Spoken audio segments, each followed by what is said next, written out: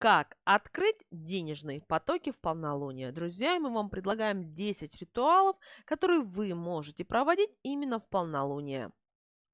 Знаете, что полнолуние – это очень мощный с точки зрения энергетики период. В это время энергетические потоки усиливаются в несколько раз, а Луна очень влияет на финансовый успех и благополучие. Ритуалы в полнолуние помогут вам открыть денежные потоки и, конечно же, стать богаче. Отметим, что ритуалы в полнолуние в разы значимее и правдивее, чем в остальные дни лунного цикла. И в этот период можно вполне предсказать по ним ваше финансовое будущее. Итак, друзья, денежные ритуалы в полнолуние. Чтобы привлечь финансовое благополучие, положите в карман пятак на полную луну, и пусть он там полежит какое-то время.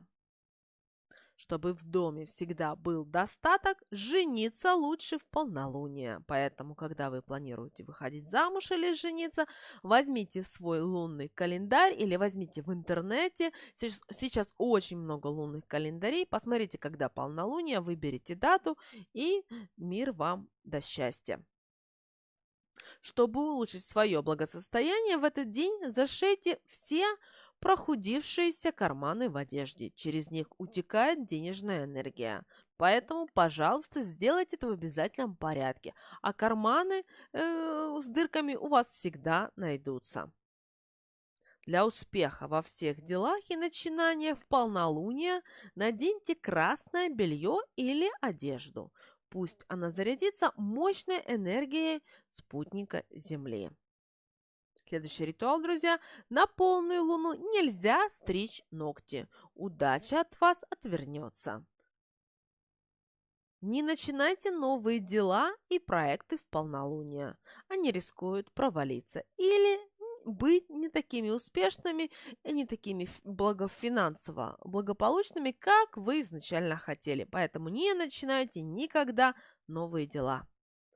Ни в коем случае, ни в коем случае не одалживайте деньги в полнолуние. Это может привести к длительному безденежью, а отношения с тем, кому дадите в долг, к сожалению, могут испортиться полнолуние совершайте только глобальные покупки, заранее обдумав их целесообразность. А вот от мелких трат стоит воздержаться. Деньги утекут рекой, а ничего серьезного вы не приобретете. Нельзя на полную луну просить повышения в должности или зарплаты. Это сильно разозлит начальство и можете остаться без премии и, возможно, даже без работы. Хотя часто, кстати, такое бывает. Поэтому в, на полную луну не стоит э, просить деньги или повышение. Когда увидите на небе лунный диск, положите на подоконник открытый кошелек с деньгами – Таким образом, он зарядится энергией Луны, и деньги в нем будут водиться постоянно. Этот ритуал в обязательном порядке проводите каждый раз. Мы надеемся, друзья, вы теперь знаете, какие ритуалы нужно проводить, когда есть полная луна.